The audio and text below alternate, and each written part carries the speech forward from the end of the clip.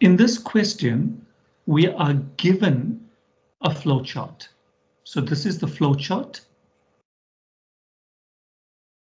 We're given the flowchart and we now need to complete the trace table. So how do we go about drawing a flowchart? Or what does a flowchart do firstly? The flowchart helps us to determine the activities, the steps that are taking place uh, in, in the uh, flowchart that is given. It helps us to determine the output. So we want to know and understand what the output is in this flowchart. So to draw the trace table, let's look at the variables. In box number one, I've got count. So you create a column in your in your trace table you create a column with count or for count. In box one, I've also got a, a, a variable sum, so I create a column for sum as well. Then if I go to box number two, I've got count. I've already got the variable count, so I don't need to write uh, duplicate it. And in box two, I've also got sum. So there's no need to duplicate that as well because sum is on in my trace table. Then in box three, that is a condition. So you always put conditions into your trace table. So count less than 10, that's my condition. And then here it's a print statement. So print means output. So every trace table will have an output column. So let's follow the boxes and the arrows and let's see what this flowchart is doing. I start at the beginning. OK, so I'm at the start. I then go to box number one. In box number one, count is equal to zero. So let's fill in the value count equal to zero and sum is equal to zero as well. So um, I filled in the values for box one in my trace table. Let's go to box two count equals count plus one. So on the right hand side, I've got count plus one. What is the current value of count? Count is currently zero. So zero plus one, count will become one. So zero plus one is one, and that value is stored back into count. So that is why I've now put one in the variable count and the zero is now lost. The next statement sum and this should be equal to right. That's equal to sum equals sum plus count. So what's the current value of sum? The current value of sum is zero. Zero plus count, which is one. So zero plus one is one, and that value is stored back into sum. So the 0 is now lost. 0 plus 1 was 1 and sum has the value 1. I'm finished with box 2. Now let's go to box 3. Is count less than 10?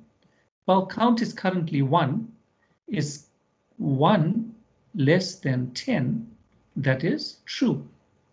And if it's true, then you follow the branch that says true. So I'm going to go back to box number 2 because the flowchart takes me back to that particular box. So count equals count plus 1. So what is the current value of count? 1. 1 plus 1. Count is now going to be 2. Sum equals sum. What's the current value of sum? The current value is 1. So 1 plus count. Count is 2. So 1 plus 2 is 3. So sum now has the value 3. That's box number 2. Box number three, we check is count less than 10. Count is 2. Is 2 less than 10? That's true. So I follow the true branch and I'm back at box number 2. So what happens? Uh, you can figure this out now. Count equals count plus 1. It's an accumulator. It's adding 1 to its current value. That's what count is doing. It's adding 1 to its current value. So what's the current value? The current value is 2. And if I add 1 to it, 2 plus 1 is 3. And count becomes 3. And what is sum doing? Sum is taking its current value and adding the value of count. So it's adding sum plus count.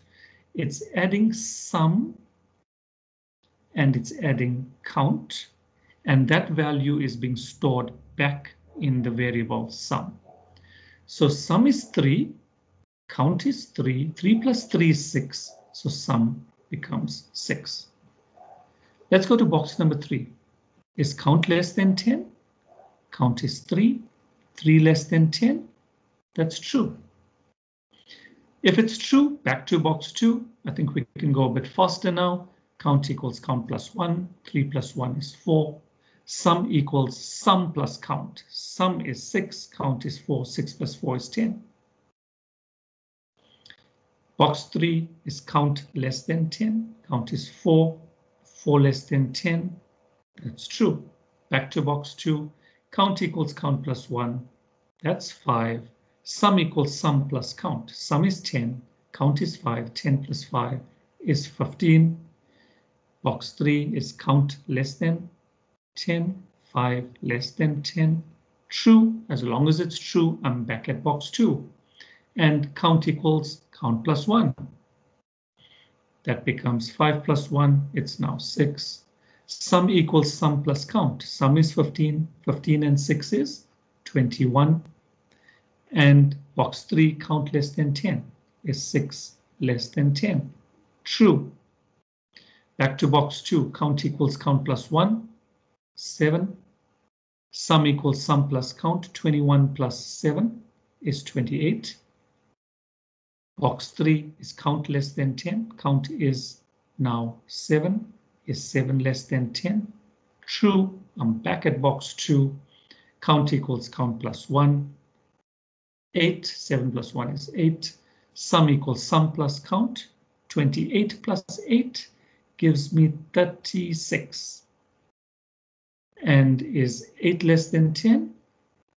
That is true. That happened at box number 3.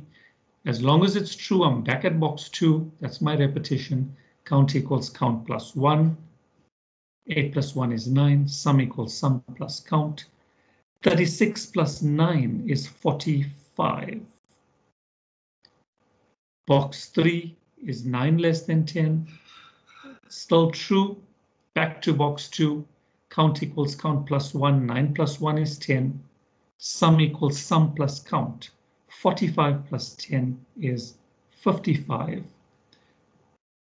Is count less than 10? Is 10 less than 10? And we know that 10 is equal to 10. It's not less than 10. So that's false. And because that's false, I now follow the branch. That is false. And that takes me to my print statement, which is the output. So there's a message. The message is the sum of the numbers is, and it's printing sum. So what's the value of sum? There it is here. The value of sum is 55. And after that, I then come to the stop and that ends my trace table for this particular flowchart. So you have to be careful when you're tracing through this and follow the branches, the way the flowchart is behaving. Even if you think the flowchart is doing something wrong, you still follow and do whatever the flowchart is requesting us to do.